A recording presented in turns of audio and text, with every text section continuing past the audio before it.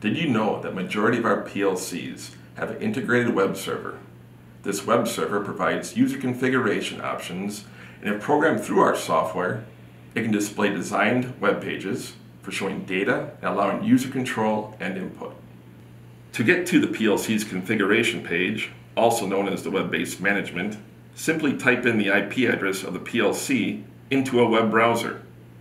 Here you can see PLC information and change settings. If prompted, the login is admin and the password is Wago.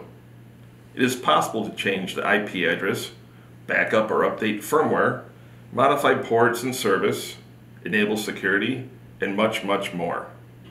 Another feature of the built-in web server is the option to display programmed web pages that are user created using Wago software like Codesys or eCockpit.